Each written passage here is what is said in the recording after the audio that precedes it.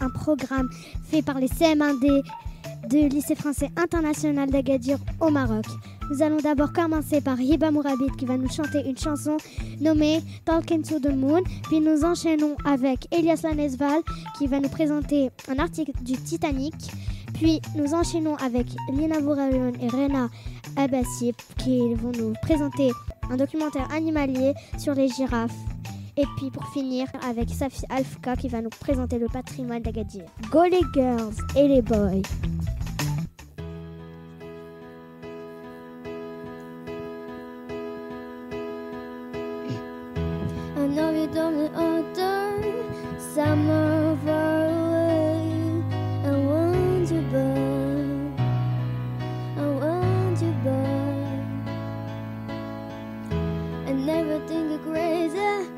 but I don't understand.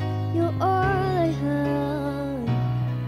You're all I have. Mm. And now when the stars light up my room, I sit by myself, to the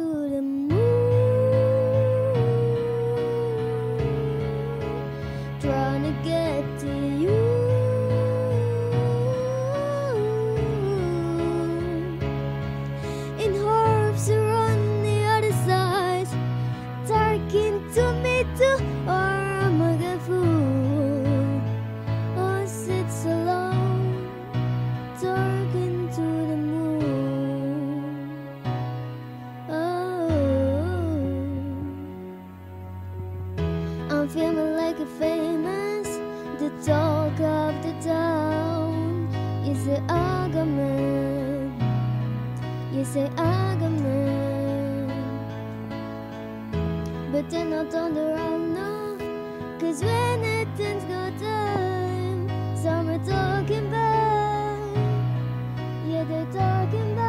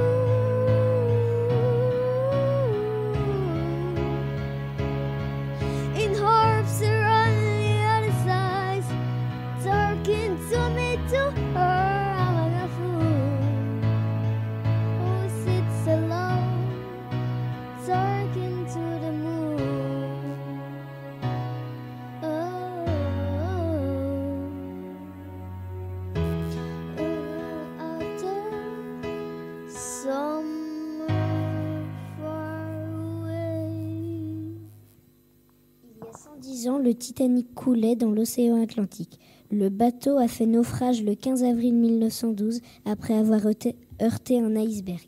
Faisant 1500 morts, l'épave des objets repose sur les fonds marins.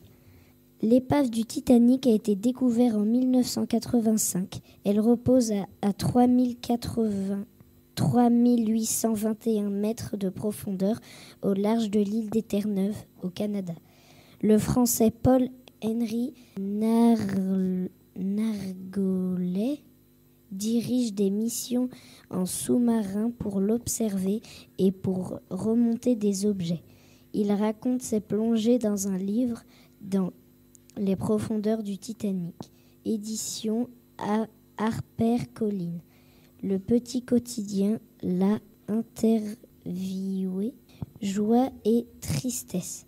Depuis 1987, mon équipe a réalisé 154 plongées autour de l'épave du Titanic et remonté 5800 objets.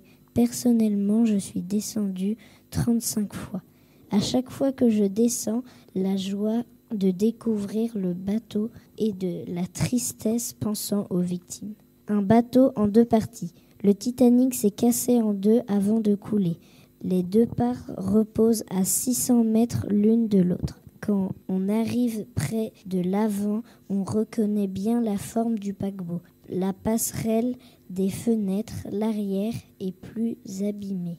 Nous n'entrons pas dans l'épave avec nos sous-marins par respect pour les familles des victimes qui la considèrent comme une tombe.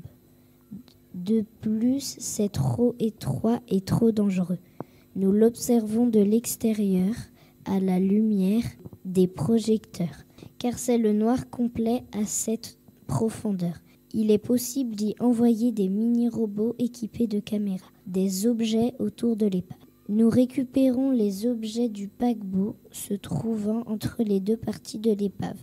Dans ce que nous appelons champ de débris, les objets les plus lourds, chaudières, grues, sont tombés toute droite lors du naufrage. Les plus légers, eux, se sont éloignés et éparpillés. Bouteilles, vaisselle, ustensiles, ustensiles de cuisine, valises, etc.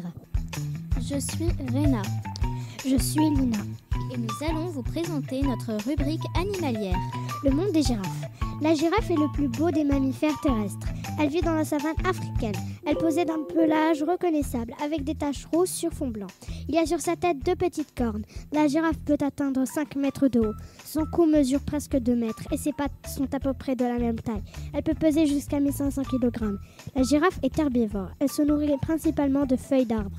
Son arbre préféré est l'acacia. Le grand cou de la girafe lui permet de manger les feuilles les plus hautes mais ça devient un désavantage lorsqu'elle veut boire. On a longtemps cru que la girafe était muette, car son cri est rare et discret. Or, la girafe belle, quand elle est jeune, et le mâle adulte pousse des grognements, et il lui arrive de ronfler. Mais la girafe communique surtout en faisant des mouvements avec son cou. La girafe fait partie des espèces menacées.